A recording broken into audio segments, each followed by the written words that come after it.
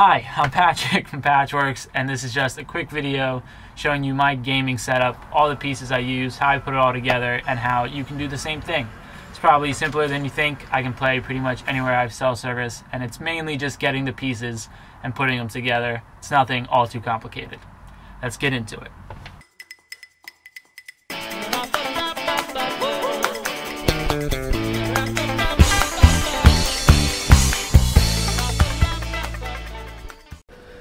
Alright, well this is my setup. You can see my screen here. I have it on a mount. My controller and headphones are hung up behind it, and then my PlayStation and the power plugs are in this little slot down here. The screen is an Asus ROG gaming monitor. It's a pretty new technology. I'm pretty sure it only came out when USB-C charging came out for whatever reason that allowed this type of screen to exist. It's incredibly thin and portable. It has its own lithium battery inside of it, so you can charge it and then have a four hour runtime just on the internal battery um, without having it plugged in. So if I wanted to take this out and play on a picnic bench or a friend's house or something like that, I totally can. Um, and my Jackery can then run the PlayStation, and I don't need to worry about charging this.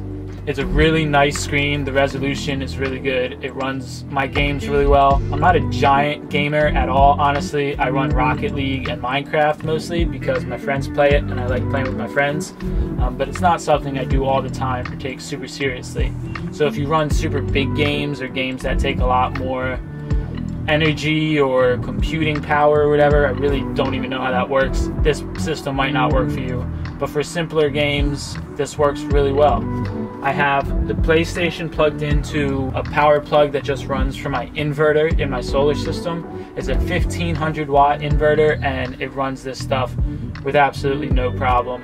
I have 170 amp hours of lithium and it really rarely feels that when I'm playing games. My battery's pretty much always charged. I have solar and an isolator, and I can plug into an external outlet if I needed to. So power is not really a huge issue, and this doesn't really draw much power. Like I said, if I wanted to run it all with a Jackery 500, I totally can and have. The screen itself, like I said, is an Asus ROG. I think it's like a 15 inch. I'll have a link in the description with everything else I talk about. They are affiliate links, just so you know. Have to tell you that. And this mount is a TV mount for an RV TV. So you tighten up these bolts and everything locks up and it doesn't move when I'm driving. I had to build this wooden flange for it so that the screen can fit in it. But what that allows is that if I do want to take this out and go play in a friend's house or somebody else's van or whatever other random place that I wanted to. I can slide this screen out. It has a built-in kickstand and I can bring it wherever I'd like. The other cool thing this does is that if you have a Samsung phone, there's this thing called Samsung DeX, which pretty much allows your phone to become the computer and this to be the monitor. So it's not just screen mirroring, it's a totally separate system. You touch a little button in the corner and it opens up a separate thing to control the screen.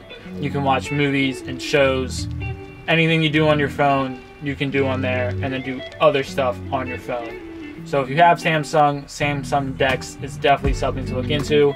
Apple might have something that's similar. I'm not a huge fan of Apple, so I really don't know. As far as the wires go, that was kind of the trickiest part for me when I first got it.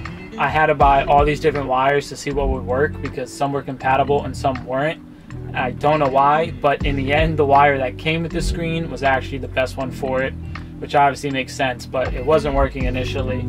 It's an HDMI to micro HDMI, and then it also comes with a USB-C to USB-C to charge the screen itself. So those wires work well, and then if you want to connect your phone, you're going to need a female HDMI to a USB-C adapter. This one is by Anker. It seems like it's high quality. It works well for me. There might be others that do it, but there's some that don't do it too. So having something that is compatible is important. For connection, I just use my hotspot on my phone. I'm with T-Mobile. If I have good cell service, the connection works really, really well. I can play Rocket League and Minecraft mostly with no issues. If there's bad weather, it definitely gets worse. And sometimes with the voice connection, like in voice parties and stuff, it'll go on and off a couple times before I guess it settles in and makes a strong connection and then works for the rest of the time I'm playing. So it's definitely a bit annoying, but for just using a hotspot on my phone and not needing a whole separate hotspot or plan or anything, it works really, really well. Again, I'm not a super serious player, so it's not like I'm running hours and hours and hours on this thing. But when I do need it, this works really, really well. The downsides of using the hotspot connection is that if your games need to update, it's pretty much impossible with a mobile hotspot. So this being portable is nice to be able to take it in somewhere where there is good Wi-Fi and update everything. I have to do that every once in a while. It's not really something you can get around, um, and sometimes that is a bummer. But it's definitely a lot better than nothing or not having the capabilities at all. All right, well that's pretty much it. Like I said, it's pretty simple. It's my PlayStation powered by my solar system, connected to this screen, and connected to the internet using my mobile hotspot on my phone. It works 90% of the time, lets me play when and where I want, and that's really all I was looking for. It's a pretty simple setup, something you could copy pretty easily. If you have any questions, let me know down below. I'm not much of a tech wizard, but I'll do my best to help. Other than that, I hope you're having a good time, and I'll see you next time. Bye!